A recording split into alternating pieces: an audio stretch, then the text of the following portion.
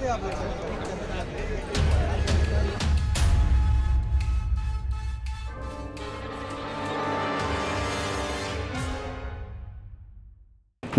आप देख रहे हैं लाइव सिटीज़ और मैं हूँ आपके साथ साहेब अली। बिहार में दवा दुकानदारों ने हड़ताल का ऐलान कर दिया है आपको तीन दिनों तक। बिहार में दवा नहीं मिलेगी क्योंकि सभी दवा दुकानदार हड़ताल पर हैं और दवा दुकानों को बंद किया गया है। 22 यानी कि आज 23 यानी कि कल और 24 यानी कि परसों, तीन दिनों तक दवा दुकानदारों की हड़ताल है, सरकार के खिलाफ धरने पर हैं और ये तस्वीरें देखिए, ये पटना के तस्वीरें हैं। पटना में किस तरह से सभी दवा दुकानदार जो हैं, वो सड़क पर उतर आए हैं और सड़क पर उतर करके अपनी जो मांगे हैं, वो सरकार के सामने रख रहे हैं। राजधानी पटना के केमिस्ट और ड्रगिस्ट एसोसिएशन के आह्वान पर तीन दिनों तक राज्यव्यापी बंदी का ऐलान किया गया है पटना के गोविंद मित्रा रोड के महिमा पैलेस के प्रांगण में।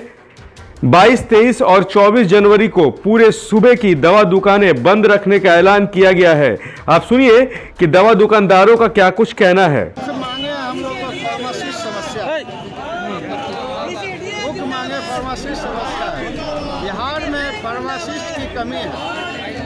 और दुकानें हैं, करीब करीब पैंतीस से चालीस हज़ार और बिहार में फार्मासिस्ट है, करीब करीब सात हज़ार।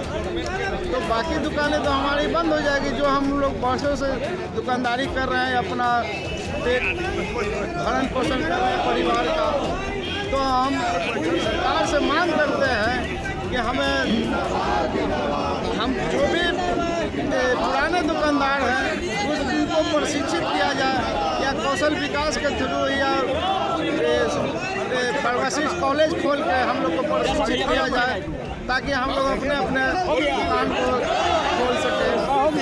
अपना Yadav Patna chemist and druggist अध्यक्ष। तस्वीरों में देखिए ये वही गोविंद मित्रा रोड यानी कि जीएम रोड है जी जहाँ पर अक्सर इतना ट्रैफ़िक हुआ करता था कि वहाँ पर गुजरना भी मुश्किल हुआ करता था क्योंकि यहाँ पे सारे फार्मास्यूटिकल्स जितने भी हैं सभी लगभग यहीं पर हैं और अभी देखिए, ताला लटका है दुकानों के बाहर, शटर गिरे हुए हैं और यहाँ पर लोग दिखाई नहीं दे रहे हैं। पटना समेत पूरे बिहार में ये तीन दिवसीय हड़ताल का घोषणा किया गया है।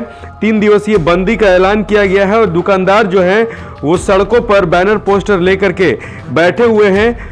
राज्य के सभी खुदरा और थोक दुकानदारों की ये बंदी है, यानी कि खुदरा मतलब कि अगर रिटेल में भी अगर दवाइयाँ यानी कि सीधा असर जो है वो मरीजों पर ही पड़ेगा। जो मरीज़ परेशान हैं हलकान हैं अस्पताल में इलाज करा रहे हैं और उनको दवाओं की ज़रूरत है ऐसे मरीजों को अब दवा के लिए दर दर भटकना होगा या फिर सर, अ, सरकारी अस्पतालों में जो सरकार की तरफ़ से दवाइयाँ मुहैया कराई जाती हैं उन्हीं पर निर्भर रहना पड़ेगा।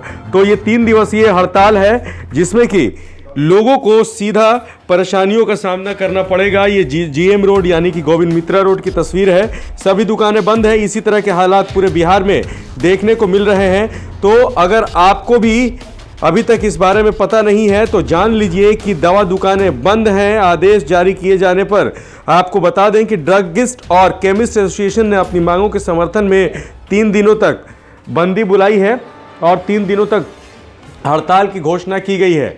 आप लाइव सिटी साथ बने रहिए और जो भी तस्वीरें आ रही हैं, हम आप तक सीधे पहुँचा रहे हैं। हमारे यूट्यूब चैनल को अगर अभी तक आपने सब्सक्राइब नहीं किया है तो सब्सक्राइब कर लीजिए फेसबुक पेज को लाइक करिए और विस्तार से खबरों को पढ़ने के लिए आप लाइव सिटीज़ डॉट इन पर जाएँ। धन्यवाद।